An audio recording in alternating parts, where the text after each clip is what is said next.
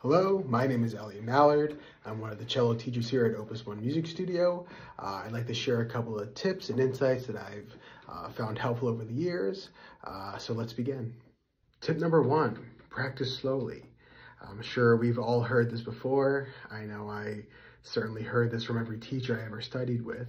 Um, but you know, over the years, I've learned that uh, really the most effective way to practice is to practice slowly. Um, so many issues really can be avoided by just slowing down. Uh, slow practice really uh, gives you time to analyze exactly what you're doing and, and pinpoint critical issues in your playing.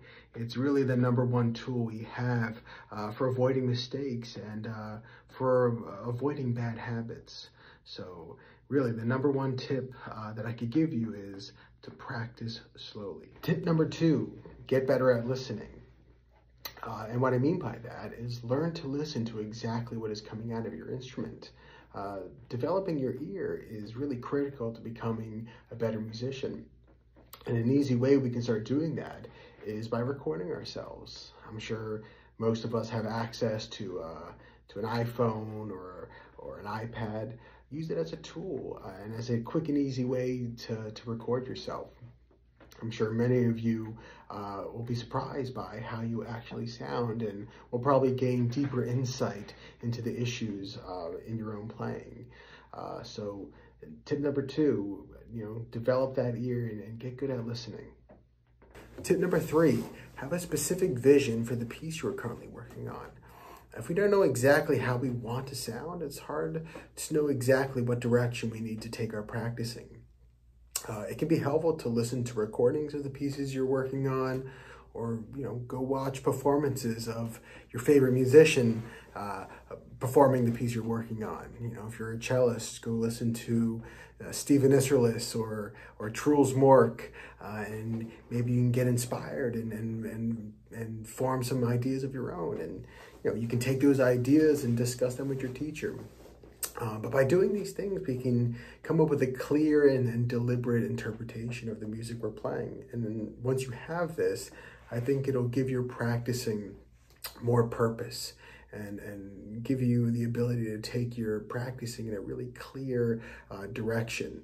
So, uh, yeah, you know, come up with a vision and then be specific on exactly how you want to sound.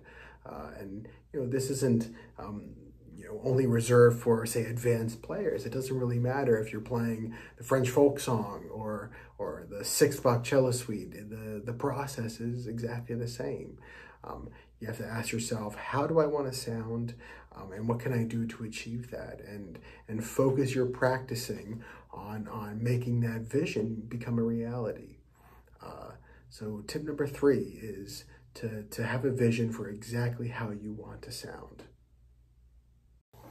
And my final tip is to practice performing. I always found it interesting that we spend most of our time either playing only for ourselves or for our teacher, but really not much time at all performing for an audience. Although most of our time should be spent practicing slowly and deliberately, uh, I think it's important to remember that practice feels very different than performing. So I think many would benefit from finding time every week to do fully committed run-throughs of whatever piece we're working on uh, for an audience. And it really doesn't matter the size of that audience. It could be for a friend or a member of our family. Um, by doing this, not only do we become better performers, I think we gain uh, better insight into what parts of our piece still need work. Uh, there's some aspects of playing that can really uh, only be fully understood by, by performing. So find time every week uh, to, to run through your music for people. I think it's really critical uh, to building our skills um, as musicians. So that's my final tip, practice performing.